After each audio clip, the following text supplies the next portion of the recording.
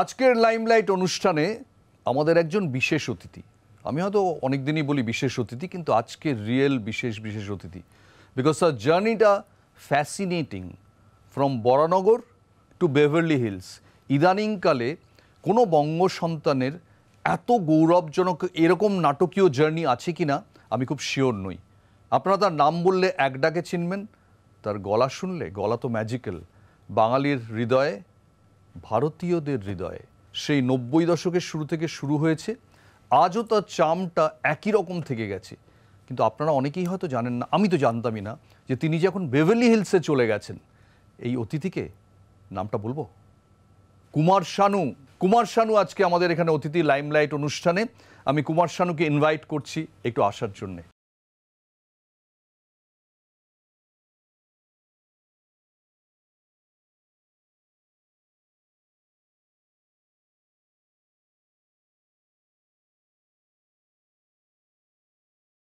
অনেক বছর পরে দেখা হলো। অনেক বছর পরে দেখা। আরে তোমার এই যন্ত্রপাতি সব হাতের মধ্যে নিয়ে এসেছি আমি। এগুলো সেটিং করে দিই। সেটিং হ্যাঁ। চা আসছে। চা তো খেতেই হবে। ভালো আড্ডা হবে। হ্যাঁ। বলো আর তোমার কি এমন কেমন আছো? আমি ঠিক আছি। তোমার সঙ্গে অনেকদিন অনেক বছর বাদে দেখা হলো। জানতামই না অ্যাকচুয়ালি যে তুমি যে বেভারলি হিলসে চলে গেছো। আমি জানতাম তুমি দুবাই গেছো। আরও যে দূরে ওয়েস্টে চলে গেছো জানতাম না। সব জায়গাতে ঘুরতে থাকছি আর কি। এখন লাস্ট জায়গা ফিক্স হয়ে গেছে। বেবেলি হিল সেই জন্যে। যে আমার বড় মেয়ে হলিউডে গান গায় তার জন্যে আমাকে ওই ওই জায়গাটা বেছে নিতে হয়েছে। বাট কুমার শানুর জার্নিটা Kedar Bhattacharya to Shanu Bhattacharya and finally to Kumar Sanu এটা তো একটা পুরো বায়োপিকের মশলা। হতে পারে।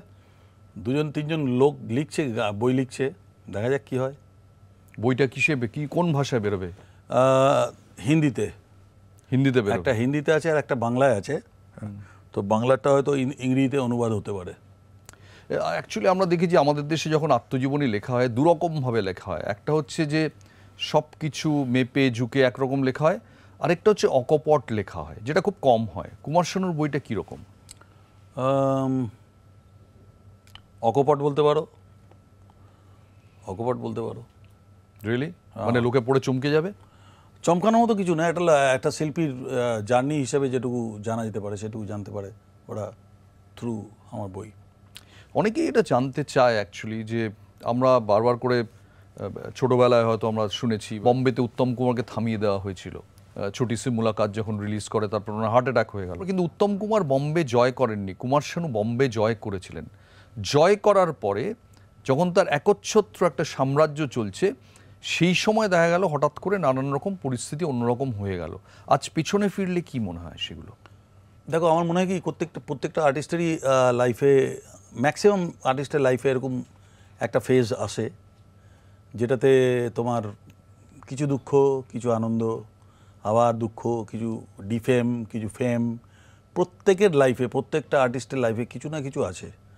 এবং আমার মনে হয় সেটার দ্বারাই সে গানের মধ্যে ফেমাস হতে পারে। বা যে কোনো অ্যাক্টিং ফিল্ড বলো, বা যে কোনো ফিল্ড বলো মিউজিক ফিল্ড বলো, তাতে করে ও তাতে করে আরও বেশি ইনভলভমেন্টটা বেড়ে যায় এবং তার মাধ্যমে অনেক কিছু বলে দেয়। তো সেইটাই আমার ক্ষেত্রেও হয়েছে এবং আমি ফেস করেছি সেগুলো।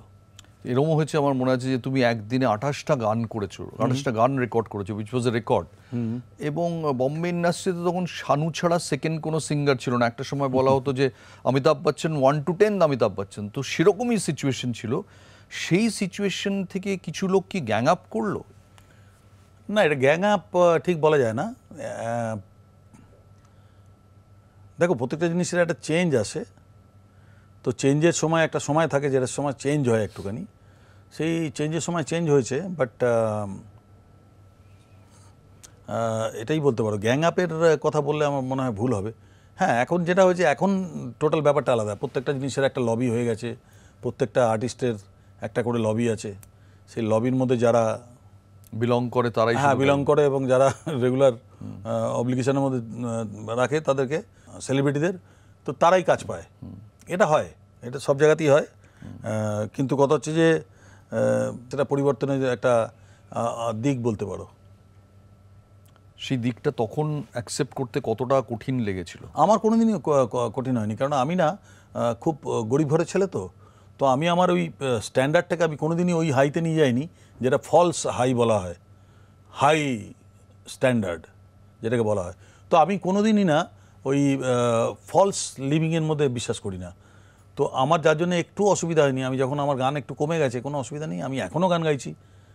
কালকেও আমার একটা গান রিলিজ হয়েছে ইউটিউবে তো ধীরে ধীরে বদল রही है ও লোকে ইউটিউব খুঁজলেই পেয়ে যাবে। ভালোই হলো, আমি বলে দিলাম তোমাদের মাধ্যমে। তো গান রিলিজ হতেই থাকবে। প্রত্যেক সপ্তাহে আমার গান রিলিজ হয়। এখনও আমি রেকর্ডিং করে যাচ্ছি রেগুলার তো কিছু এসে যায় না। আমি একটা বড় ফিল্মে গাইলাম। সেই ফিল্মটা এখন তো সব ফিল্মি লাইন দিয়ে মুখ থুবড়ে পড়ছে। তো ফিল্মে গাইলাম সেখানে মুখ থুবড়ে ফিল্ম পড়ে গেল তার সঙ্গে সব ডুবে গেল। তো এরকম হয় না হয় না হলে কিছু ক্ষতি নেই। কিন্তু যখন ভালো গান কিছু হওয়ার কথা হবে তখন কিন্তু তারা ভাববে একবার। যে ভাই এই রোমান্টিক ব্যাপারটার জন্য কুমার শানুকে চাই। গাইছি।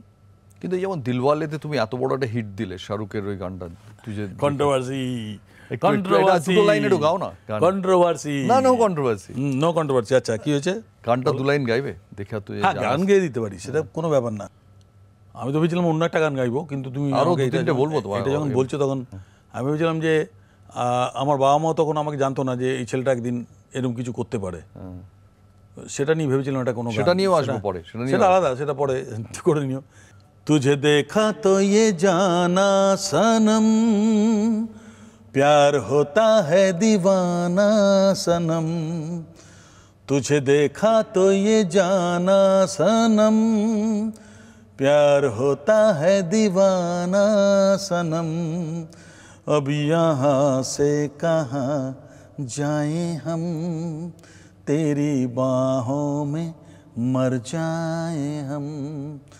तुझे देखा तो ये जाना सनम। অসাধারণ। তো এই গানটা মানে এখনও গাইতে পারছি তো? আরে অবশ্যই। লোকেরা কিন্তু আপনারা জেনে নিন যে আমি এখনও গাইতে পারি আর রেগুলারই আমি গেয়ে যাচ্ছি গান এটা কিন্তু মাথায় রাখবেন। এটা নিয়ে কেউ সন্দেহ প্রকাশ করেছে বলে আমার কোনো রকম হয়। সন্দেহ যেন না হয়। কিন্তু এইটা এরম একটা গান ফিল্মটা এরম সুপারহিট একটা লোকের তো কেরিয়ার আরও এগিয়ে যাওয়ার কথা হঠাৎ করে আটকে কন্ট্রোভার্সি কন্ট্রোভার্সি ঠিক আছে? না প্রশ্ন। হ্যাঁ প্রশ্ন। প্রশ্ন আমি উত্তর দেবো। কেননা সেই সময় আমি একটুখানি ইয়েসজির কাছ থেকে একটু পয়সা চেয়ে ফেলেছিলাম গানটার জন্য। তা উনি সেটা পছন্দ করেননি। যার জন্য আমার ওই বছরে এটাই ফিল্মফেয়ার অ্যাওয়ার্ড ছিল। আমার ফিল্মফেয়ার অ্যাওয়ার্ডটা পাইনি। ছ নম্বর ফিল্মফেয়ার অ্যাওয়ার্ড যেটা ছিল কনজিকিউটিভ এটা একটা রেকর্ড পাঁচটা হয়ে গিয়েছিল হ্যাঁ ছটা হয়ে যেত। তো ওটা পাইনি কোনো ব্যাপার না। দেখো ভাই আমার কাছে আমি এখনও পাবলিকের সামনে যখন গিয়ে দাঁড়াই স্টেজে তখন যে পাবলিক চিল্লায় না এর থেকে বড় অর্ডার কিছু হতে পারে না। লোকে যখন পায়ের ওপর হুমড়ি খেয়ে এসে পড়ে লোকে যখন হাত ধরে চুমু খেতে থাকে লোকে যখন টানামানি করে এর থেকে বড় অ্যাওয়ার্ড আর কী হতে পারে? অ্যাওয়ার্ড তখন ভুড়ি ভুড়ি নিয়ে গিয়ে ঘরে ঘরে তুমি আমার ঘরের ফটো দেখলে পরে বুঝতে পারবে যে অ্যাওয়ার্ডের কী অবস্থা। মানে তখন তখনকার দিনে মাইনে রাখতো। এখনকার দিনে কোনো মাইনে নাই। এটা কোনো মানেই রাখে না। তখনকার দিনে আমরা খেটে নিতাম। এখন এখন কি সব কেনা হয়? তো তুমিও আগে। আগেও তো বলতো কেনা মতো। আগেও ঋষি কাপুর নিজে বলেছেন যে আমি ফিল্ম কিনেছিলাম পঁচিশ হাজার টাকা দিয়ে তখনকার দিনে সেভেন্টি ফাইভে মেবি বাট আমাদের তো তোমাকে যদি বলা হয় যে এই গানটার থেকে ভালো গান কি আছে? নেই। নেই। নেই। বলতে পারবে না। এই মিউজিক ডিরেক্টর থেকে ভালো কি মিউজিক ডিরেক্টর আছে? নেই বলতে পারবে না। এই লিরিক্স রাইটারের থেকে ভালো লিরিক্স রাইটার কে আছে? বলতে পারবে না। তো যেগুলো সত্যি সেগুলো সত্যি। কিন্তু একটা ইয়াশ চোপড়া চটে গেলে কি বাকি রাস্তাগুলো শুকিয়ে যায়? না কিচ্ছু হয় না। ইয়েস চোপড়ার ওই তুজে দেখা তো জানাশোনা ওর তো নাইনটি ফাইভে তারপরে দু পাঁচ পর্যন্ত আমার হিট গান বেরিয়েছে। তো ইয়েস চোপড়া কী করবে? Yash Chopra is good man but টাকা চাওয়াটা একটু ইয়ে অন্যায় হয়ে গেছিল ভাই। তার জন্য আমি একটু ক্ষমা চাইব না কেননা যেটা আমার প্রাপ্য সেটা আমি সবসময় নিয়ে নিই। এবং তাতে করে কে কি ভাবলো কে কি আই ডোন্ট বদার এনিবডি আচ্ছা তুমি এক্ষুনি বললে আবার বলবে যে কন্ট্রোভার্সি কিন্তু আমি আমি একটা সোজা সাপটা জিজ্ঞেস জিজ্ঞেস করছি যে বম্বে ইন্ডাস্ট্রি যদিও অনেক বাঙালি সিঙ্গার এসছেন এখনও অরিজিৎ গাইছে কিন্তু একটু কি টাফ জায়গা? একটু কি রকম সকম শেখাটা ডিফিকাল্ট একটা নর্মাল মধ্যবিত্ত বাঙালি ছেলের পক্ষে? বাঙালিদের একটা ব্যাপার আছে যেটা আমি তোমাকে একটু বললে বুঝতে পারবে শটে যে আমাদের শুরু থেকে আমাদের যা বাঙালিরা যারা ওখানে গান গাইতেন তাদের প্রোনাউন্সিয়েশনের মধ্যে একটা বাঙালি টান থাকতো। বাপিদা বলো হেমন্তদা এত বড় লেজেন্ডারি সব লোক। বাট ওদের যে সিঙ্গিংটা ছিল না সিঙ্গিংটার মধ্যে একটা বাংলা একটা টান একটা বেঙ্গালিদের একটা টান থাকতো হিন্দির উর্দু বলার সময়। তো যেটা মানাদার মধ্যে একদম ছিল না। বাট বাকি অন্যান্যদের মধ্যে প্রচণ্ডভাবে ছিল। তো একটা একটা মাইনাস পয়েন্ট আমাদের বম্বেতে কাজ করতো যে বাঙালি কি উর্দু বলবে? বুঝলি তো কিন্তু আমি এই জিনিসটা ভেঙে দিয়েছিলাম আমি যখন গেছিলাম এবং আহ, উর্দু প্রোনাউন্সিয়েশন এত ক্লিয়ার এটা আমার একটা প্লাস পয়েন্ট হয়ে গেছিল যার জন্য কলাজি ভাই আমার নাম চেঞ্জ করে দিয়েছিল কুমার সানু সানু ভট্টাচার্য থেকে কুমার সানু করে দিয়েছিল কলাঞ্জি এবং জগজিৎ সিংও ছিলেন তাদের না জগজিৎ সিং তো শুরুতে আমাকে চান্স দিয়েছিলেন দিয়েছিলেন। बट कलंजी भाई আমার নাম চেঞ্জ করে সানু ভট্টাচার্য থেকে बोलो कुमार सानू ऐसा नाम रख कि तू बंगाली किसी को पता नहीं चलेगा कहाँ का भट्टाचार्य भट्टाचार्य जी लोग पहले से ही माइनस पॉइंट कर लेंगे तो पहले से ही खराब सोचना शुरू कर अरे बंगाली क्या गाएगा तो तेरा प्रोनाउंसिएशन इतना क्लियर है क्योंकि আমি না আহ, বোম্বেতে হোটেলে গাওয়াকালীন চলাকালীন আমার কতগুলো জিনিস আমি করেছিলাম যেগুলো এখনকার সিঙ্গারদের বলি যে একটা মানুষ কখনো এক ঝটকায় ডেডিকেশন কিছু না থাকলে ফট করে লোকে ভাবে যে আরে কুমার শানু তো খুব লাকি গেল আর বোম্বেতে একদম এক নম্বর হয়ে গেল আরে না ভাই অনেক পাঁপড় বেলতে বেলতে হয়েছে অনেক পেঁয়াজ ছিলতে হয়েছে তো তার মধ্যে একটা জিনিস ছিল যে আমি মৌলবি রেখে আমার বাড়িতে মৌলবি রেখে জীবের কোথায় কোথায় টাচ করে কি উচ্চারণ হওয়া যায় সেই নিয়ে আমি কমসে কম ছ মাস তাকে নিয়ে প্র্যাকটিস করেছি। অ্যাফোর্ড করতে কি করে? একটা লোক রাখা তখন তো রোজগার ছিল না। কে বলেছে রোজগার ছিল না? আমি তো বম্বে যেদিন পা দিয়েছি সেদিন থেকে রোজগার করছি। আচ্ছা। এটা কিন্তু আমার ওপরওয়ালা বিরাট একটা ব্যাপার। আচ্ছা। বলতে নেই আমাকে কোনোদিন ভিখারি করেননি উনি। তো বম্বেতে আমি রেগুলার হোটেলে গাইছি হোটেল থেকে পয়সা কামাচ্ছি রেগুলার সেই টাকায় একটা সেই টাকায় ডেমো করছি তারপর ডেমো ক্যাসেট বানাচ্ছি সেই টাকায় তোমার মৌলবী ছিল আমার যে আমাকে শেখাতো। তারপর আমি উর্দু লেখাও শিখেছিলাম খানিকটা। এবং আলি বে পেয়েছে যে যেগুলো থাকে থাকে ওগুলো আমি শিখে- শিখেছিলাম।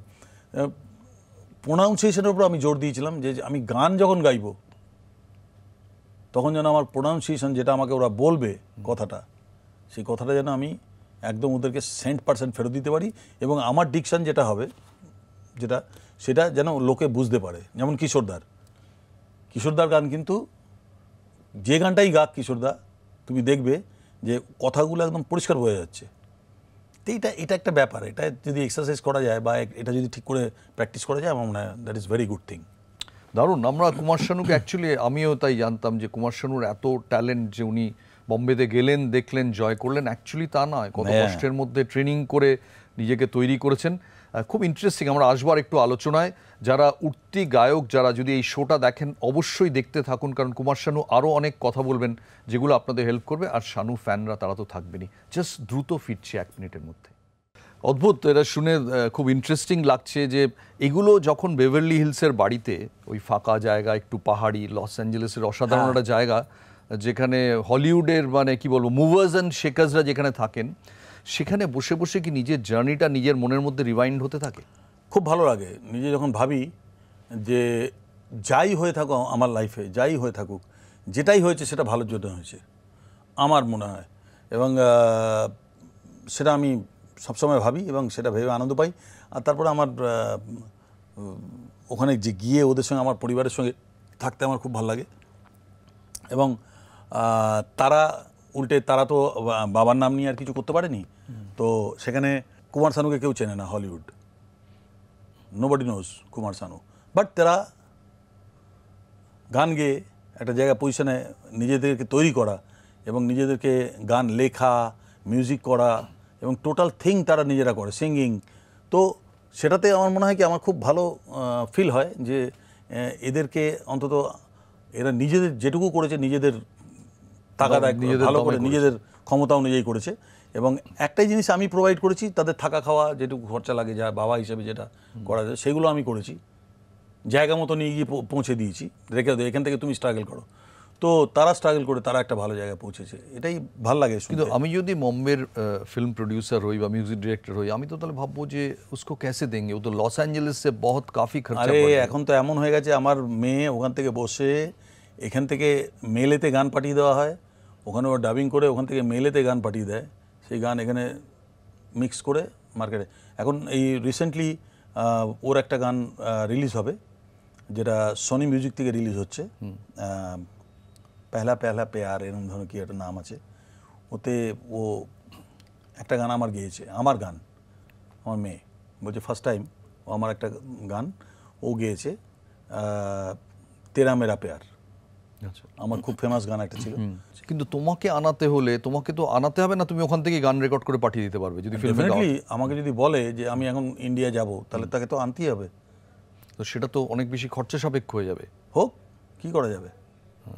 কিন্তু তোমার খরচা করলে পরে ভগবান দেয় ওপর থেকে। কিন্তু তোমার মনে হয়নি কখনো যে লোকের সাধারণত নিজের কমফর্ট জোন নিজের অরা নিজের পপুলারিটি তার মধ্যে সেটা ছেড়ে কমপ্লিটলি অন্য জায়গায় যাওয়াটা তো বাজে বিগ চ্যালেঞ্জ না না এটাও না।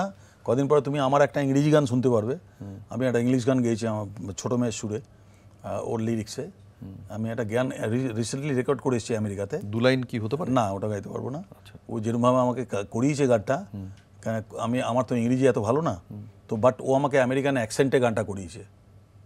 টুকরো টুকরো করে আমাকে করিয়েছে। বাট ইটস অ্যামেজিং আমি ভাবতে পারিনি যে এরকম পরে শুনছি যখন তখন ভাবছি যে এরকম উচ্চারণ করে একটা একটা ইংলিশ সিঙ্গার যেমন গায়।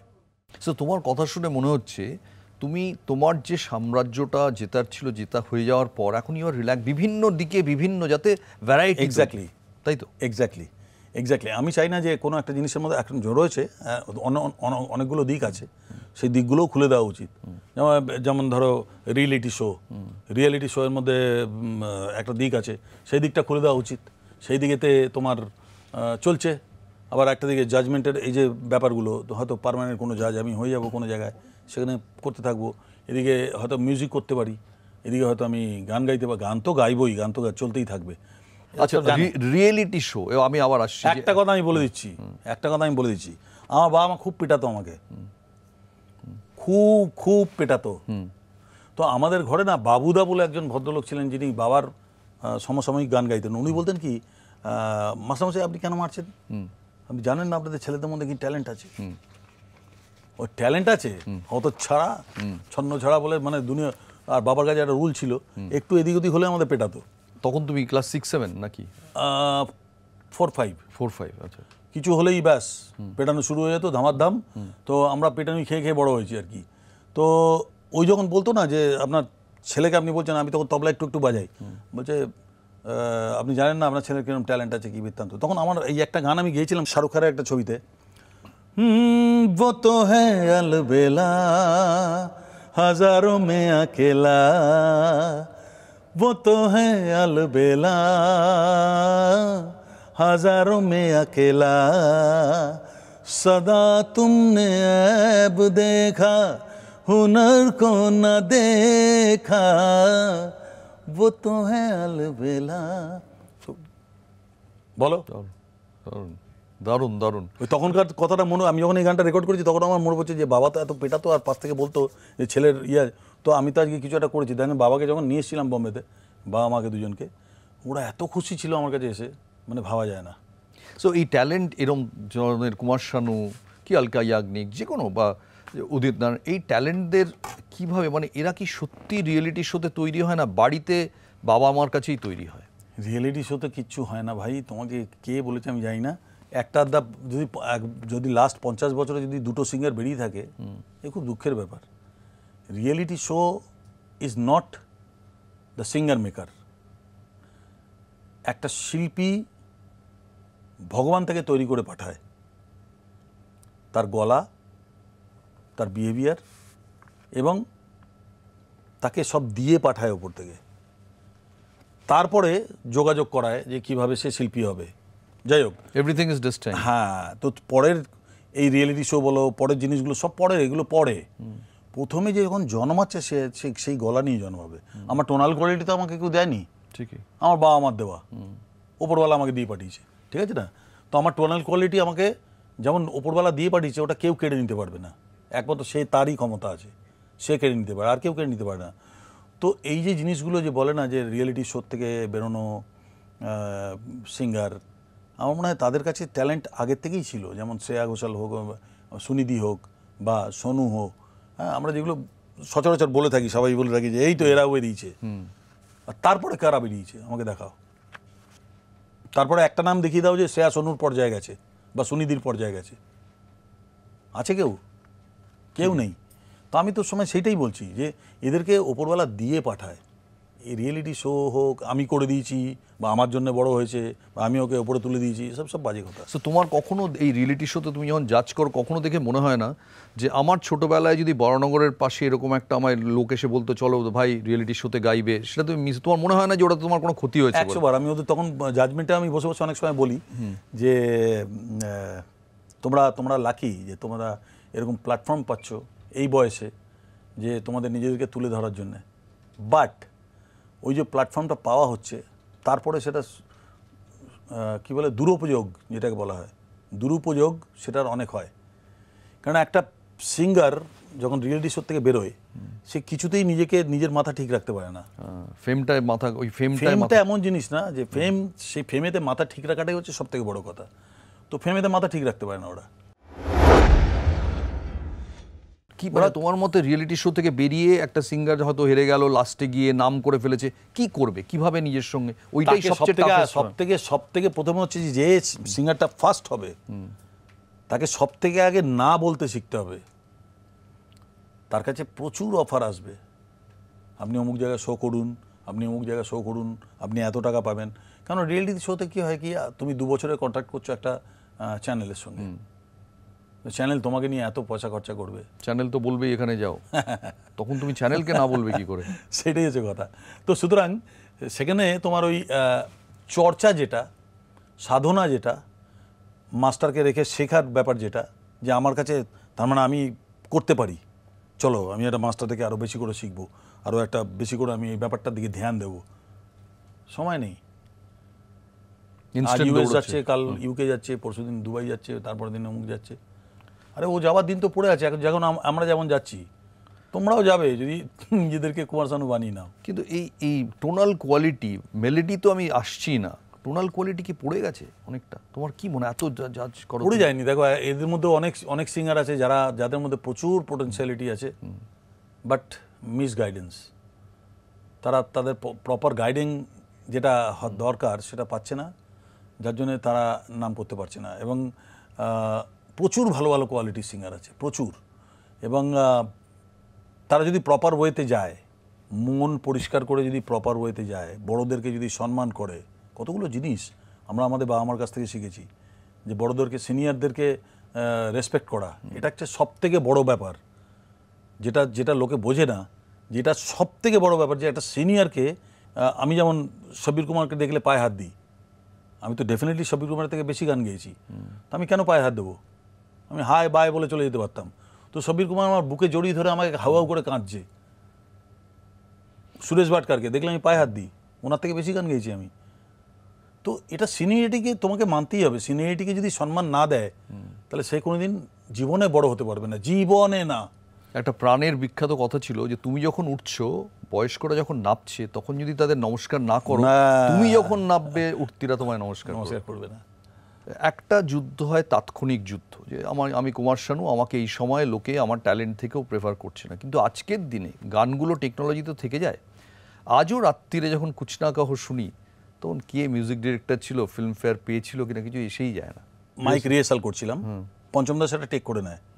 আচ্ছা ওটাই টেক করে নিয়ে আমাকে ভেতরে ডেকে পাঠায় বলে দেখ তুই কেয়া গা দিয়ে? আমি বললাম দাদা মানে গায়নি আমি তাক আমি তো এখনও গাইনি আমি তো এখন গাইবো ভালো করে আরও। না আমার যেটা দরকার ছিল আমি পেয়ে গেছি।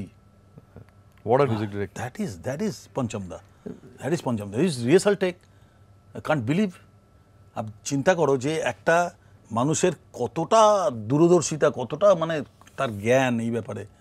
আর সেই লোকটাই এই সিনেমা ফিল্মটা দেখে যেতে পারল না মাঝখানে কতটা খারাপ সময়ের মধ্যে বিরাট বিরাট ক্ষতি। আমাদের ইন্ডাস্ট্রির জন্য কতগুলো লোকের জন্য বিরাট ক্ষতি হয়েছে আমাদের মিউজিক ইন্ডাস্ট্রি স্পেশালি একটা হচ্ছে গুলশান কুমার একটা হচ্ছে তোমার আর ডি পঞ্চম দা একটা হচ্ছে তোমার নাদিম সোমনের আলাদা হয়ে যাওয়া নাদিম চলে যাওয়া নাদিম এখান থেকে।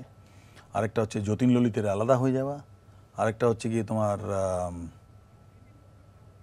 বাপিদা তো খ্যার অনেক বয়সেই গেলেন। এই লোকগুলোর এই দুটো স্পেশালি গুলশন কুমার আর আর ডি বর্মন তোমাকে বোধহয় অনেক বেশি আরও অনেক অনেক বেশি। আমি গুলশান কুমারের জন্য আমি তোমাদের আজকে বলছি গুলশান কুমারের জন্য আমি গুলশান কুমার তখন একটা মিউজিক ব্যাংক হতো।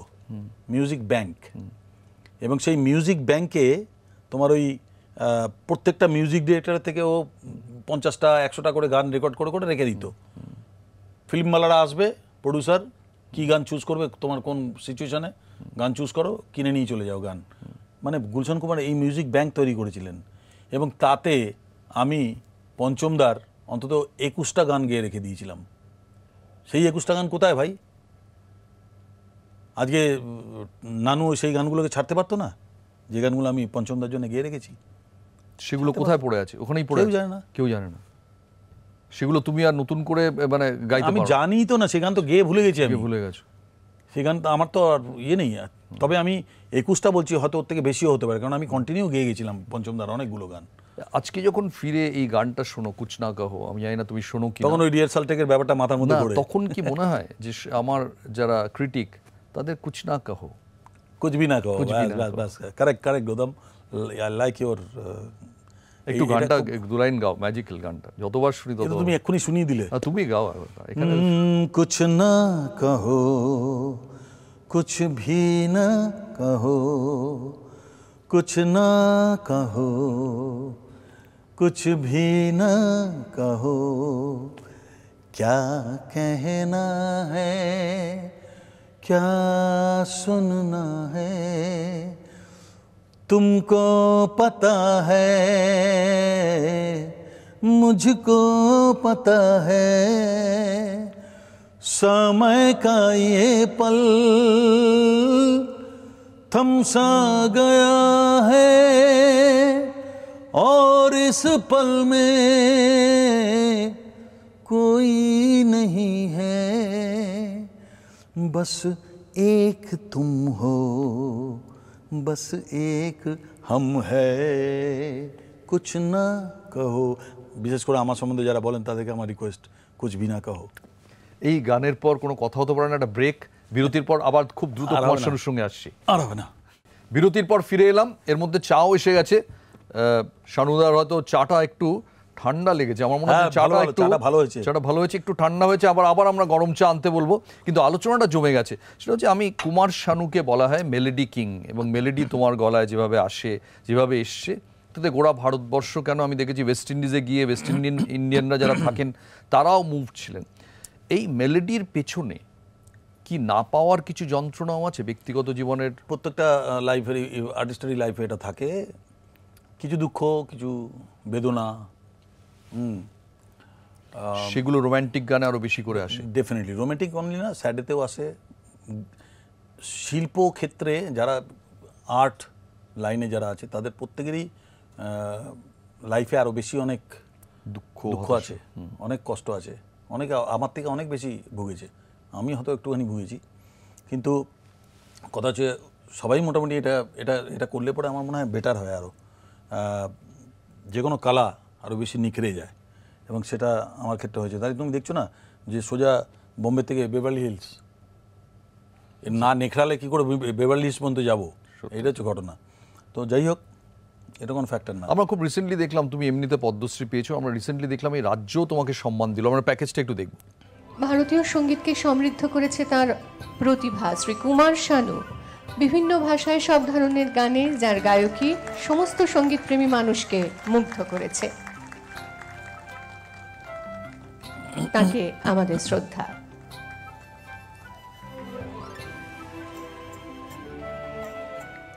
কিরম ছিল মুহূর্তটা? এই কুমার শানুকেই আমরা একটা সময় দেখেছি যে কেরিয়ারের টপ ফর্মে হঠাৎ নিষেধাজ্ঞা হয়ে গেল নেতাজি ইন্ডোরে তিনি গাইতে পারবেন না।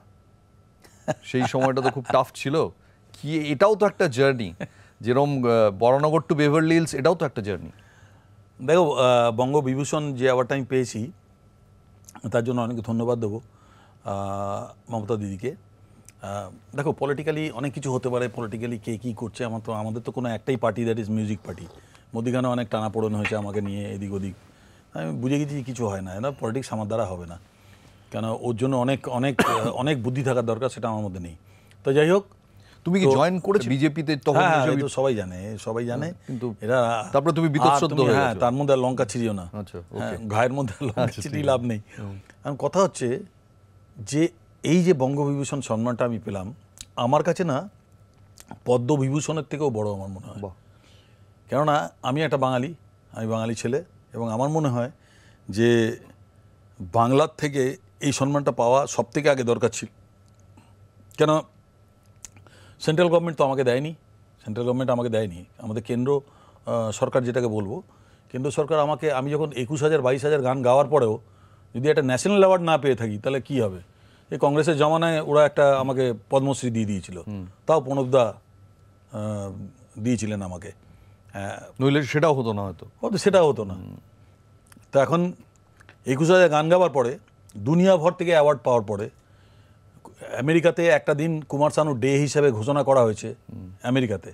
They declared as Kumar Sanu day. কটা আছে? আমি পোর্ট অফ স্পেনে দেখেছি হ্যাঁ। কুমার শানুর ফেস্টিভ্যাল ভারতীয় আছে যে একটা দিন তার নামে মানায় মানানো হয় পোর্ট অফ স্পেন তোমার খুব প্রিয় শহর ওখানে প্রচুর পোর্ট অফ স্পেনে তো ছেড়ে দাও ওখানে তো অর্ধেক ঘরে বাচ্চাদের নাম সানু সেখানে আমাদের গভর্নমেন্ট যদি আমাকে না চিনতে পারে তাহলে এর থেকে দুঃখের আর কিছু হয় না। যার জন্য আমার কাছে এই বঙ্গবিভূষণ অ্যাওয়ার্ডটা এত বেশি বড় ছিল যে আমি তো জানি সেন্টার থেকে আমাকে কোনোদিন পাবো না কোনো দিন পাবো না। এত হ্যাঁ অনেক অনেক অনেক ব্যাপার আছে না হলে এই অ্যাওয়ার্ড পাওয়া যাবে না। অনেক ব্যাপার আছে। আপনি যদি মানে কেন? কুমার শানু জহুজুর নয় বলে না বাঙালি বলে? কি কারণে? সেন্টার থেকে পাওয়া যাবে না? আমি জহুজুর নই বলে। আচ্ছা। জহুজুর নই এবং অনেক অ্যাপ্রোচ থাকতে হবে তাছাড়া হয় না এটা। অনেক ধরাধরি থাকতে হ্যাঁ প্রচণ্ড অ্যাপ্রোচ না থাকলে এই জিনিসটা পাওয়া যায় না আমি এটা জেনেছি। কিন্তু কথা হচ্ছে যে তার জন্য আমি এখন আঙুর ফল টকের মতো বলতে পারো যে এখন আমার মনের মধ্যে সেই ডিমান্ডটা আর নেই। যে একটা ডিমান্ড ছিল না যে পদ্মভূষণ পাবো বা ন্যাশনাল অ্যাওয়ার্ড পাবো হ্যাঁ। পদ্মবিভূষণ পর্যন্ত পেতে পারতাম। কেন সোশ্যাল সোশ্যাল ওয়ার্কের দিকে যদি তুমি দেখো তাহলে আমি যা সোশ্যাল ওয়ার্ক করি আমাদের কোনো কলিগস করে না। অথচ তারা অ্যাওয়ার্ড পেয়ে যায়। আমি যা সোশ্যাল ওয়ার্ক করি আমার দুটো স্কুল চলছে কুমার শানু বিদ্যানিকেতন। এই পুরোটাই কি ফিটিং একটা? আই থিঙ্ক সো আদারওয়াইজ আমি কেন পাচ্ছি না? সোজা কথা। আমি কেন পাচ্ছি না? কোনো কারণ তো নেই যে আমাকে না দেওয়ার মতো কারণ কি আমি অন্যায় করেছি কিছু? না। বাট আমি কেন পাচ্ছি না? আমার অ্যাপ্রোচ নেই আমি জানাশোনা নেই যার জন্য পাচ্ছি না। আমার এটা মনে হয়। সুপারহিট গান গেয়ে দিলেও সব কিছু গান ফান দিয়ে কিচ্ছু হবে না। গান দিয়ে কিছু হবে। না। fitting করতে অন্য কিছু চাই। সেটা কি চাই সেটা আমি ভালো মতো জানি না। কথা চক্রবর্তী তো পদ্মশ্রীও নয় এখন অব্দি কি বলব? কিছু বলার এটা- কি এটা কি? মানে বাঙালিদের সমস্যা এটা? মানে বাঙালিদের হতেও পারে যে বাঙালিদেরকে দেবো না। এটাও হতে পারে। যে বাঙালিদের মধ্যে তাও যদি মমতা দিয়ে এখান থেকে যদি খেচিয়ে খুচিয়ে কাউকে পাঠায় তাকে হয়তো একটা পেয়ে যায় সে হয়তো গিয়ে সেটাও তো ওখানে লাগবে। হ্যাঁ হ্যাঁ ন্যাশনাল অ্যাওয়ার্ড তাও সে মুখ রাখার ক্ষেত্রে হয়তো দেওয়া হয়। আমি জানি না আমার মনে হয় সেটা। সো তোমার জন্য তুমি যখন কেরিয়ারের ওইরম টপ ফর্মে তুমি দেখলে সরকারি হলগুলো তোমার জন্য বন্ধ হয়ে গেছিল। তারপর অনেক পরে সেটা খুললো। একটা হয়েছিল এরকম। কোনো বড় না। এই কিশোরদাকে গান বন্ধ করে দিয়েছিল কংগ্রেস জমানা। সো তারপরে তোমার সঙ্গে কি সুভাষ চক্রবর্তীর আবার মিটমাট হয়ে গেছিল পরে? হ্যাঁ সব কিছু তা তো সুভাষ চক্রবর্তী নিজেই আমাকে ওনার শোতে ডেকে নিয়ে গান ফান করালেন। ওনারা আমাকে করিয়েছেন অনেক গান। সুভাষদা আমাকে প্রচুর গান করিয়েছেন। আমি প্রত্যেক পার্টির জন্যই করেছি। খালি নট অনলি সুভাষদা। কিন্তু ফাইনালি একটা স্বীকৃতি পাওয়া গেল এই সেদিন নজরুল মঞ্চে যেটা তোমার কাছে হ্যাঁ সেটা একটা স্বীকৃতি পাওয়া গেল সেটা হচ্ছে তোমার এই দিদি আমাকে এই অ্যাওয়ার্ডটা বেভারলি হিলসে থাকবে? Hundred percent. এখন তো আমি বম্বেতে রেখেছি। হয়তো বেভারলি হিলসে আমি নিয়ে যাব। যেমন পদ্মশ্রী পেয়েছিলাম তখন খুব আনন্দ হয়েছিল। যখন আমাকে কংগ্রেস জামানার সময় আমাকে দিয়েছিলেন।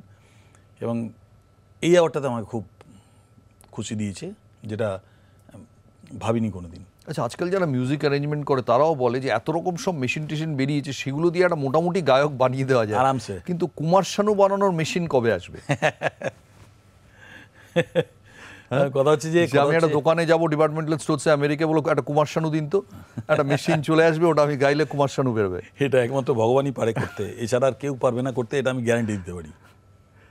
ভগবান পারবে একমাত্র। এছাড়া কেউ পারবে না করতে। সে যতই চেষ্টা করে যাক যতই মেশিন নিয়ে আসুক আর যাই নিয়ে আসুক ফিলিং কোত্থেকে দেবে? মেশিন তো আর ফিলিংস দিতে পারবে না। আচ্ছা একটা কথা বলো যে এখন কুমার শানুর যেরকম ডমিনেন্স ছিল বম্বে মার্কেটে এখনও বেশ কিছুদিন অবভিয়াসলি এখনও আছে। অরিজিৎ সিংকে নিয়ে একই রকম কথা হয়। তো আমরা যেরকম ক্রিকেটে বলি সচিন না বিরাট? তো আমি যদি বলি ওই শানু না অরিজিৎ তুমি কি বলবে? অরিজিৎ সিং। অরিজিৎ সিং? হ্যাঁ। কেন? অবভিয়াসলি কেননা যে- যে কজন নতুন সিঙ্গার আছে না তার মধ্যে আমার ওকেই সব থেকে বেশি ভালো লাগে। মানে ওর মধ্যে সেই পোটেন্সিয়ালিটি আছে যে ও সব রকম গান গাইতে পারে। যদি ওকে গাওয়ানো হয়। এখন মিউজিক ডিরেক্টর যদি একই প্যাটার্নের গান বানিয়ে ওকে দিয়ে গাওয়াতে থাকে একই প্যাটার্ন তো একটা প্যাটার্ন হয়ে যাবে। But Arijit Singh is the man now add ইজ যে কল যতগুলো নতুন সিঙ্গার আছে তার মধ্যে। আমি all time rating Royal Albert হলে প্রোগ্রাম হচ্ছে সকালটা অরিজিৎ সিং সন্ধ্যেবেলা কুমার শানু। হা হা হা ক্যা বাত হ্যাঁ কী হবে? আরে ফাটাফাটি কাণ্ড হবে। এরকম একটা কিছু ভাবো না মনে। তোমার কি মনে হয় অল টাইম রেটিং এ কি বলবে? অল টাইম রেটিং এটা হান্ড্রেড হান্ড্রেড না এর থেকে বেশি কিছু হতে পারে না। কেন সকালে যদি অরিজিৎ সিং হয় সন্ধ্যাবেলা যদি আমি হই তো ডেফিনেটলি আমরা ফাটিয়ে দেবো। আচ্ছা যদি কুমার শানু দুটো বাঙালি ফাটিয়ে দেবে। কুমার শানু যদি সচিন হন যদি বিরাট কোহলি হয় অরিজিৎ সিং তাহলে রাহুল দ্রাবিড়কে মেরেছে। এবার নতুন একটা কোয়েশ্চেন এসছে। অভিজিৎ সোনু কে? না অভিজিৎ সোন তো নয় রাহুল দ্রাবিড় ডেফিনেটলি উদিত হতে পারে। উদিত হতে পারে। হ্যাঁ ডেফিনেটলি উদিতও ভালো সিঙ্গার তো রেটিংয়ে উদিতের পরের রেটিং কি হবে? উদিতের উদিতের পরে সবাই আসবে। অভিজিৎ আসবে। ফার্স্ট তারপরে সোনু শান সবাই যারা আছে। তারা আসবে। আর এসব রেটিং করে কি হবে? আরেকটা তোমার একটা ম্যাজিক্যাল গান। জব কই বিগড় যায় কুছ কোই বিগড় যায়, যায় বিনোদ খান্না মীনাক্ষী শেষাদ্রি জুরমের গান এটা। এই গানটা মহেশ ভাটের ছবির গান কিন্তু এই গানটা অতটা লোকে জানতো না। যখন আশিকি হিট হলো তখন তারপরে এই গানটাও সঙ্গে সঙ্গে হিট হতো। গিয়ে কুমার শানু গান খুঁজতো তার মধ্যে জুম। জুম শুনে লোকে তখন এটাই হয়। দুজন নেই বিনোদ খান্না নেই শফিক ইনামদার নেই। আরেকটা কথা শোনা যায় যেহেতু কাগজে পত্রে আছে যে হ্যাঁ তিনি এই গানটা শুনে ইউজুয়ালি হিরোরা ইন্সপায়ার্ড হয়ে যায় হিরোইন গায়কের প্রেমে পড়ে গেলেন। না প্রেমে পড়ে গেছে এটা সম্পূর্ণ একটা বানানো কথা। বানানো কথা। এটা একটা বানানো কথা হয়েছিল যে কথাটা দিয়ে আমার একটা ছবিকে খারাপ করবার ইচ্ছা হয়েছিল এবং যে কথাটা বানিয়েছিল তারা তাদের মনে হয়তো এটা ছিল যে এইটার দ্বারা যদি কিছু করা যায়। মীনাক্ষী স্বেচ্ছার দিকে আমি সামনের থেকে জীবনে কোনোদিন চোখে দেখিনি। রিয়েলি ইয়েস এই ক্যামেরার সামনে বসে বলছি না উনি আমাকে কোনোদিন সামনে থেকে চোখে দেখেছেন। মীনাক্ষী তো আমেরিকাতেই থাকেন। এখন হয়তো থাকে আমি জানি না। আই ডোন্ট নো বাট ওনার সঙ্গে আমার কোনোদিন ফোনেও কথা হয়নি। না ওনা ওনাকে আমি চিনি। তাহলে এটা কারা রুটিয়েছিল? যারাই রটাক যারাই রটাক তোমরা খুঁজে বার করো। সম্পূর্ণ একটা মিথ্যে কথা একদম ভুড়ি ভুড়ি মিথ্যে কথা। কোনো রিলেশনের মধ্যে আমরা ছিলাম না কোনো দিন কোনো রিলেশন না আমি ওকে চিনি না ও আমাকে চেনে। কেউ কাউকে চিনি না শুধু মুধু একটা ব্যাপার ঘটিয়ে দিয়ে তুলে দিল ঝট করে। এরম গান শুনলে লোকের তো ভালো লাগবেই। অনেকে হ্যাঁ নাম বালা বহিত বদনাম হ্যাঁ আর ক্যা করে? না কিন্তু এটা এটা এরম এই যে বিভিন্ন হিরোর প্রেমে পড়ার আগে প্লেব্যাক সিঙ্গার যিনি কুমার শানু তার প্রেমে সব নায়িকারা পড়তো। How did you handle handle করতে কি করে? প্রেম করতে পারে তারা ভেতরে ভেতরে প্রেমে পড়তো। আমার সামনাসামনি এলে হ্যান্ডেল করতে হতো বাট সামনাসামনি তো আসেনি সুতরাং হ্যান্ডেল করতে হয়নি। তা তারা ভেতরে ভেতরে কি ভেবেছে তারা ভেতরে ভেতরে কতটা ভালোবেসেছে তারা কি করেছে দ্যাট আই ডোন্ট নো তারা যদি আমার সামনে এসে বলতো তাহলে আমি হ্যান্ডেল করতাম। অমিতাভ বচ্চনের সঙ্গে তোমার গলাটা তুমি জাদুঘরে গাইলে যেত কিন্তু কেন একটা সেই অর্থে কিশোর কুমার অমিতাভ বা রাজেশ খান্না কিশোর কুমার যেটা তৈরি হলো সেটা হলো না। অনেকটা বেশি অন্যদিকে সুরেশ বসলে বা অন্যদিকে চলে কেননা অমিতাভজি তখন যে বয়সে আমি ঢুকেছি সে বয়সে অমিতাভজি তখন মানে কোনো বই হিট হচ্ছে না। হয়ওনি তারপর আর কোনো বই হিট হয়নি। ওই মৃত্যুদাতা ওই ওই সময় না না ওই তো তুফান জাদুঘর হ্যাঁ। তারপর তোমার এই সব লাইন দিয়ে সব তুমি জানো কি অবস্থা হয়েছে বইগুলো। তো সেই সময় ভালোই হয়েছে আমি আর না গেছি জাদুঘর গিয়েছিলাম বাস ঠিক আছে ওর পরে তারপরে আমি ওনার জন্য গিয়েছিলাম ইনসানিয়াত। সাথী তেরা পেয়ার পূজা হয়। তেরে শিবা কন মেরা দু যায় আর অমিতাভ বচ্চনের গলায়। এবং তারপরে অমিতাভ বচ্চনের জন্য আরও গিয়েছি কয়েকটা মিতুয়া। তারপরে এটা কি জানো তো? কেসটা হচ্ছে যে লোকটা যখন যখন তার মার্কেটটা চলে যাচ্ছে সেই সময় যদি আমি গাই আমি যদি গাই তখন আমি মানে আশিকি তো গাইনি। ঠিকই। তখন আমি আশিকি গাইনি। আশিকি গাওয়ার আগে। আগে। তখন আমি নিজেকেই তোলবার জন্য ব্যস্ত হয়ে রয়েছি। তখন ফলিং স্টার কোনো কেউ হলে তখন প্রবলেম হয়ে যেত। হয় না কিছু হয় না। পরের দিকে মনে হয়নি? হ্যাঁ তবে একটা জিনিস অমিতাভ বচ্চন এত ভারী ছিলেন ওনার নামেতে উনি এত ভারী ছিলেন যে ওনার জন্যে প্লেব্যাক করেছি এইটা আমার জন্য বিরাট বড় ব্যাপার হয়ে গেছিল ইন্ডাস্ট্রিতে অ্যাবসলিউটলি ওনার নামে এত ভারী ছিল নাম। কি কে তোমার গান সবচেয়ে ভালো লিপ দিয়েছে তোমার গানে? ঋষি কাপুর। তাই? Second Shahrukh Khan Rishi Kapoor second Shahrukh Khan yes Rishi কাপুরের মতো আমার গানকে জাস্টিফাই করার সব থেকে যে করেছে সব থেকে বেশি যে করেছে সে হচ্ছে ঋষি কাপুর। এবং তারপরে শাহরুখ খান শাহরুখ খান তো আমি শুরুর থেকেই আছি রাজু বানগায়া জেন্টেলম্যান চিন্তা করো সেই লাভেরিয়া। হ্যাঁ কিন্তু ঋষি কাপুর পরে এসে পরবর্তীকালে এসে এই দিবানা ফিবানার থেকে যে যখন শুরু হলো মানে ঋষি কাপুর যে এক্সপ্রেশন আমার গানের সঙ্গে যে এক্সপ্রেশন আমি যেরমভাবে গেয়েছি সেইভাবে ওনার গানটাকে ঋষি কাপুর ছাড়া কেউ আশিকি রাহুল রায়? মোটামুটি। এই খুব ডিফিকাল্ট কোয়েশ্চেন পুজো করছ তুমি শুনছি বম্বেতে। এটা একটা এতক্ষণ বাদে তুমি বলেছ বাপ রে বাপ। এটা দিয়ে বাঙালি পুজোর আগে সেপ্টেম্বরে পড়ে যাচ্ছে বাঙালি হিসেবে দুর্গা মাকে আমি ভালোবাসি। আমাদের আমাদের দেবতা দুর্গা মা সব থেকে বড় দেবতা যেটা আমরা মানি আর কি। দুর্গাপুজো একটা করব আমার শুরু থেকে ইচ্ছা ছিল অনেক শুরু থেকে। যখন থেকে আশি করেছি তখন থেকে ইচ্ছা ছিল। একটা বাঙালি হিসেবে আমারও উচিত যে আমি অন্তত খানিকটা দেখাই। তো সেটা বেভারলি হিলসে নয় কেন? ওখানেও তো হতে পারে। বেপারলিসে কারণ আমার ওখানে কোনো সংগঠন নেই। আচ্ছা। এখানে যেমন আমার ফ্যান ক্লাব আছে আমার সংগঠন আছে মানে সংগঠন মানে বন্ধু বান্ধব আছে বা কিছু গ্রুপস আছে যারা হেল্প করতে পারে। তো বেভারলি হিলসে আমার বন্ধু বান্ধব নেই। বুঝতে পেরেছি। বন্ধু বান্ধব তো আমার আম, পড়োশি হচ্ছে গিয়ে বাপ্পা বাপ্পা লাইরি আচ্ছা। আর আশেপাশে বিখ্যাত লোকজনদের মধ্যে কেউ কেউ বাকি তো সব ফিল্ম ইংলিশ মানে Hollywood film star Hollywood film যেমন তাদের কে থাকে ওখানে? যেমন জনি ডেপ আছে তারপরে তোমার আরও অনেকে আছে প্রচুর। অত শত আমি নাম তাদের জানি না. আমার মেয়েরা ভালো বলতে পারে সো বম্বেতেই দুর্গাপুজোটা হবে। কোথায় হবে? বোম্বেতে হবে এবং এটা হবে তোমার ওই সাত বাংলার ঠিক মোড়েই হবে। ঠিক অভিজিৎ যেরকম একটা অনেক বছর ধরে একটা পুজো ওখানে ভালো, করে। অভিজিৎ খুব ভালো ভালোভাবে করে। সো এইটা অবভিয়াসলি একটা সঙ্গে সঙ্গে তুলনা এসে যাবে যে অভিজিতের পুজো শানুর পুজো বা শানুর পুজো হিসেবেই সবাই ওটাকে চিনবে। একটা পুজো হবে একটা জায়গায় আমরা বাঙালিরা বাড়ছি এটা একটু দেখাতে হবে তো। তো অভিজিতের পর্যন্ত হয়ে রয়েছে এবার তারপরে আমি একটু যাব। তাহলে আর একটু বাড়বে বাঙালি। তো যাই হোক এটা খারাপ না। আমার মনে হয় অভিজিৎ খুব ভালো পুজো করে বাট আমিও এবার চে- চেষ্টা করব খুব ভালো করতে কারণ আমি অভিজিৎ থেকে আমি অনেক কিছু জেনেওছি। অভিজিৎ আমাকে বলেছে তুই এইভাবে এইভাবে করিস সব ঠিক আছে। আমাদের মধ্যে কোনো ব্যাপার গান বাজনা হবে তবে নিশ্চয়ই তুমি হান্ড্রেড পার্সেন্ট। আমার দু দু তারিখ তিন তারিখ চার তারিখ তিন দিন একদম ভরপুর প্রোগ্রাম আর্টিস্ট বুকিং শুরু হয়ে গেছে। হ্যাঁ বুকিং অলরেডি সব কনফার্ম তিন তারিখে তিন তারিখে আমাদের আছে তোমার ওই কলকাতার কিছু আর্টিস্ট আছে। আচ্ছা। খুব নাম করা আর্টিস্ট আছে এবং তাদের সঙ্গে হয়তো সোনু থাকবে। আর চার তারিখে আর্টিস্ট আছে আলকা ইয়াগনিক কুমার সানু অ্যান্ড গোবিন্দা। দু তারিখে আছে ধরো মমতা শর্মা আর উদিত নারায়ণ আর ধরো তাদের সঙ্গে হয়তো শান থাকবে। তো এরকমভাবে আমার তো সব বন্ধু বান্ধব তাদের যাদেরকে বলছি তারাই আমাকে মেল পাঠিয়ে দিচ্ছে যে আমি ঠিক আছে তো আমি এসে আমার ভাই এসে একটু গান বাজনা করে দিয়ে যাস। আমরা একদম শেষে চলে এসেছি। আমাদের এখানে একটা কনফেশন বক্স আছে যারা আসেন অতিথিরা তারা একটা কনফেস করে যান। যে কথাটা হয়তো নিজে আয়নার সামনে বলেন নিজেকে নিজে বলেন সেটা একটা ক্যামেরার দিকে তাকিয়ে বলেন। তোমার যদি লাইফে কোনো কনফেশন করার থাকে কিছু বলার থাকে স্পেশাল কিছু বলার থাকে যদি একটু বলো।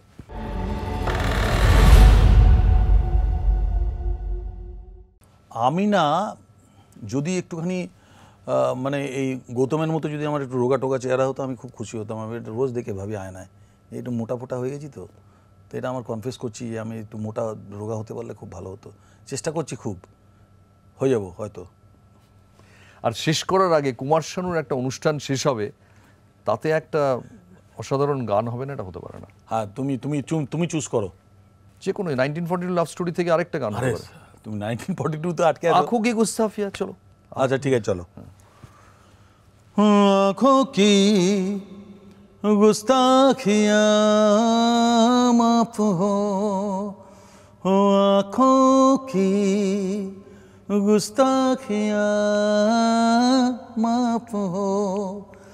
एक टुक तुम्हें देखती है जो बात कहना चाहे ज़ुबान। तुमसे ये वो कहती है आंखों की गुस्ताखियां माफ हो অসাধারণ আমার মনে হয় আপনাদের ভাল না লাগলো আমিও আজকে। বলছি একটা কথা আমি একটা কথা বলছি আমার আহ, আমার খুব মনে ইচ্ছা খুব মনে ইচ্ছা রইলো যে আমি গৌতমের সঙ্গে এসে আরেকবার বেশ বেশিক্ষণ সময় নিয়ে একটু আড্ডা ফাড্ডা করবো এবং কথা দিচ্ছি যে আমি আবার আসবো এবার তুমি গৌতম বলো। থ্যাংক ইউ সো মাচ বলার জন্যে সত্যি আজকে খুব তাড়ার মধ্যে কুমার শানুকে আমরা পেলাম। কিন্তু আমার মনে হয় যারা উঠতি সিঙ্গার, আবার বলছি, আপনারা শানু, অনুরাগী সবাই তো দেখেইছেন বা দেখবেন উঠতি সিঙ্গাররা যেন ভালো করে মন দিয়ে অনুষ্ঠানটা দেখেন। দরকার হলে এটার ক্লিপটা আবার ইউটিউবে ফিরে ফিরে দেখেন, যেটা সিঙ্গার হওয়া কিন্তু ম্যাজিক নয়। একটা লোক বরানগর থেকে বেভারলি হিলসে চলে গেছে, ফিল্মের লাগছে, কিন্তু তার মধ্যে অনেক ঘাম, অনেক রক্ত অনেক হতাশা অনেক প্রতিবাদ অনেক পড়ে যাওয়া আবার ওঠা রয়েছে সেটা মাথায় রাখবেন। কুমার শানুর জীবন শুধু একটা সিঙ্গারের জীবন না এটা একটা film itself is a movie thank you so much thank you thank you